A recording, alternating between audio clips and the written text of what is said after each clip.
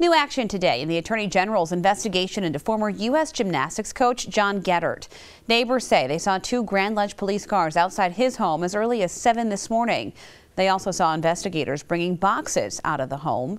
The Attorney General is not saying what they were looking for or why, just that it was a part of their investigation into the former coach. No answers from Grand Ledge Police either. The chief says they were just there to help out since Geddert's home is in their jurisdiction. It's a common courtesy when you're going into another jurisdiction. Um, It's also an officer safety thing so that we could provide uniform officers to be there uh, when another agency makes contact with an individual within our jurisdiction. So whether it's a state or federal agency, This is all connected to the Larry Nassar scandal. Geddert worked closely with Nassar for the Olympics and at Geddert's gym, Twistars, where Nassar sexually abused several young women. Geddert has been under investigation for two years now. We attempted to call his cell phone today and it went straight to voicemail. His attorney tells us he is not aware of any charges. Police also raided Geddert's former business, the Twistars Gym at the Summit near Dimondale.